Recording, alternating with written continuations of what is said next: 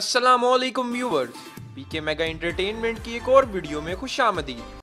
पाकिस्तान की drama industry में पसमानदा और दूर दराज से आए गुमनाम लोगों ने बड़ी बड़ी कामयाबी हासिल की।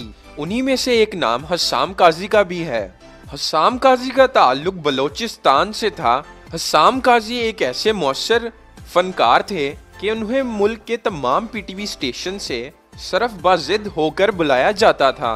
हालाँकि उस वक्त असूल यही होता था कि पीटीवी के एक स्टेशन पे काम करने वाला दूसरे स्टेशन पर काम नहीं कर सकता। मगर यह हसीनो जमील और बाकमाल अदाकार हर किसी की ज़रूरत बन गया था। वो जितना बाहर से नफीस नज़र आते थे, उसका बातन भी उतना ही साफ़ था। हसाम काजी ने इंतहाई कम अरसा में वो, वो सब कामयाबियाँ देखी जो एक अदाकार का ख्वाब होता है। मगर अफसोस के हसाम अपनी कामयाबियों को एंजॉय ना कर सके वो कराची की सड़कों पर उस वक्त बेयारो मददगार अपने अल्लाह की तरफ़ लौट गए जब उनके बेटे की उम्र महज सिर्फ़ चालीस दिन थी। वो अपने बेटे को मिलने जाने ही वाले थे मगर ये मुलाकात कभी ना हो सकी और वो अपने चाहने वालों और मदाहों को हमेशा के लिए गमजदा छोड़ गए। हसाम काजी की पैदाइश 1961 में कोयटा में हुई। उनका पूरा नाम हसामुद्दीन काजी था। वो छह भाइयों में तीसरे नंबर पर थे। हसाम काजी की फैमिली पढ़ी लिखी और सुलझी हुई फैमिली थी। हसाम काजी ने बलोचिस्तान से एम कॉम, यानी कि कॉमर्स में मास्टर्स किया। अभी हसाम काजी जेर तालीम ही थे कि कोयटा सेंटर के के प्रोड्यूसर दोस्त मोहम्मद ने अपने ड्रामे खाली हाथ में काम करने की पेशकश की। ये अस्सी के दहाई की अवाइल की बात है। हसाम पुरमाद नौजवान थे और खुद भी अदाकारी का शौक रखते थे और उन्होंने दोस्त मोहम्मद की पेशकश कबूल कर ली। हसाम पर किस्मत मेहरबान थी और उनका पहला ड्रामा ही हिट हो गया। वो पहली दफ़ा स्क्रीन पर जलवागर थे, मगर उनके एतमाद में कोई लर्जिश न देखी गई। बावजूद इसके के हसाम का पहला ड्रामा ही हिट हो गया और वो बहुत से ड्रामों में काम करना शुरू करने लगे। लेकिन दिलचस्प बात यह है कि अदाकारी बुनियादी तौर पर उनका शौक ही था। इसे उन्होंने वाहिद ज़रिए रोज़गार कभी नहीं बनाया।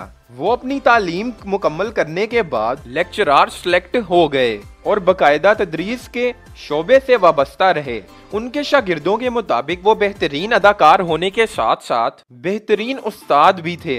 हसाम काजी की शादी उनके खानदान में हुई, जिससे उनकी दो बेटियाँ थीं। 2004 में उनको बेटे की नेमत भी अता हुई। मगर अफसोस, वो ज़्यादा देर अपनी औलाद की खुशियाँ ना देख सके और ना ही अपनी उस शोहरत और मिसाली कामयाबी को इंजॉय कर सके, जो उन्होंने बड़ी मेहनत से हासिल की थी। वफात से चार दिन कबल उन्होंने अपनी फैमिली को कोयटा भेज दिया था और कहा कि मैं इतवार को आपसे कोयटा आकर मिलूँगा।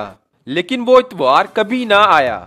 तीन जुलाई बरोज हफ़्ता को कराची में अपने घर में अकेले थे जब उन्हें हार्ट अटैक हुआ। वो गाड़ी लेकर अकेले ही अस्पताल के लिए निकले, लेकिन रास्ते में ही उनका इंतकाल हो गया। उस वक्त उनके बेटे की उम्र महज सिर्फ़ 40 दिन थी, जबकि वो खुद महज सिर्फ़ तरतालीस बरस के थे। पाकिस्तानी ड्रामा इंडस्ट्री एक बेहतरीन अदाकार से और हसाम के घर वाले और दोस्त एक बेहतरीन इंसान से महरूम हो गए। उन्हें कोयटा के रेलवे सोसाइटी के कब्रिस्तान में दफनाया गया।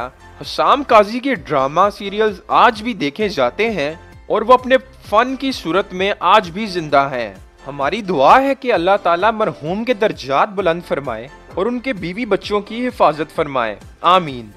तो दोस्तों, आज के लिए पीके मेगा एंटरटेनमेंट की तरफ़ से इतना ही। अगर आपको ये वीडियो पसंद आई है तो हमारी इस वीडियो को लाइक करें कमेंट में अपनी राय देना मत भूलें और हमारे चैनल पीके मेगा एंटरटेनमेंट को सब्सक्राइब करें। शुक्रिया, अल्लाह हाफिज़।